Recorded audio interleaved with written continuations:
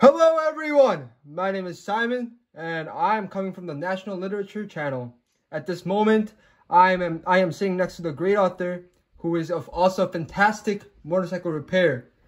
Give it up for Matthew B. Crawford!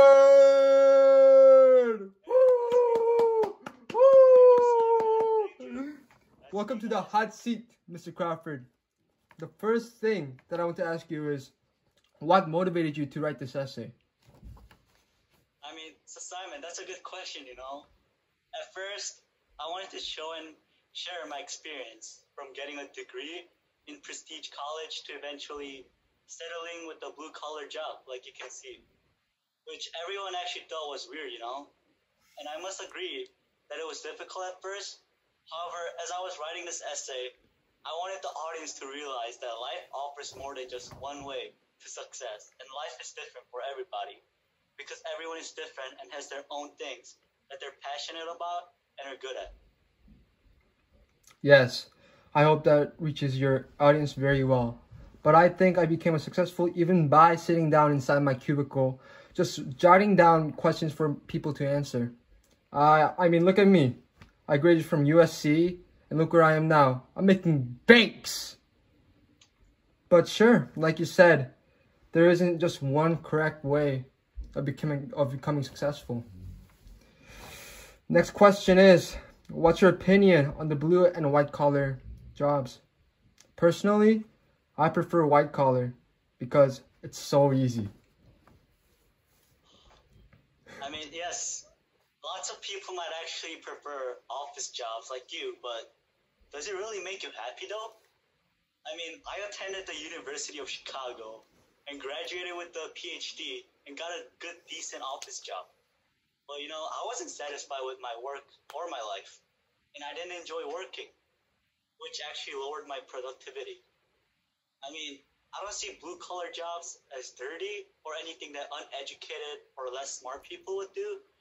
But, you know, because like blue collar jobs have their own certain aspects, which means that people with skills and good knowledge in a profession can take the job it's just a different working environment for everyone and different kind of job that you do. So I guess it's pretty open to an individual's interpretation.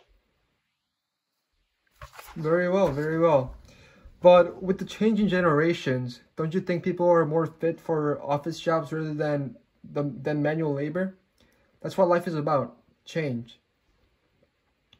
Yes, Simon. I mean, with the change in generations, like you mentioned, life is obviously changing. For example, more modern parents believe that college is the only way to success and coerce their children to follow one course, as if their lives are formulated with one correct answer. But if everyone has an office job like you, the world will undoubtedly lack enough manual laborers and other blue collar jobs that are entailed in people's lives. I mean, who's going to fix the bathroom sink? Who's going to fix the lights? Who's going to fix the broken cars? There are many different kinds of jobs that constitute life. After all, having an having only an office job will discourage some people not to work. For others, it will limit their efficiency, which would actually confine people and the economy itself. You have uh, you have clearly made your agree you have clearly made your argument. My final question for you tonight is what are the benefits for, for working with your hands, or in simple terms, what do you like about your job? Yeah, I mean, I love the fact that I can work all day, every day, in a working condition which I prefer, and the, the fact that I have a job and I actually enjoy and love doing. Also, I believe that I'm more skilled as a motorcycle engineer, and I can fix some people's problems with their bikes that most other people can't because I'm skilled in that aspect of the job.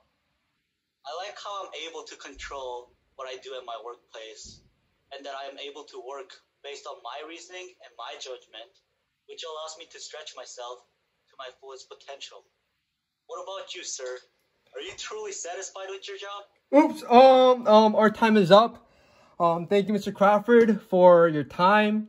Um, it was very nice having you. I will see you next Thursday on the National Literature Channel. Bye bye.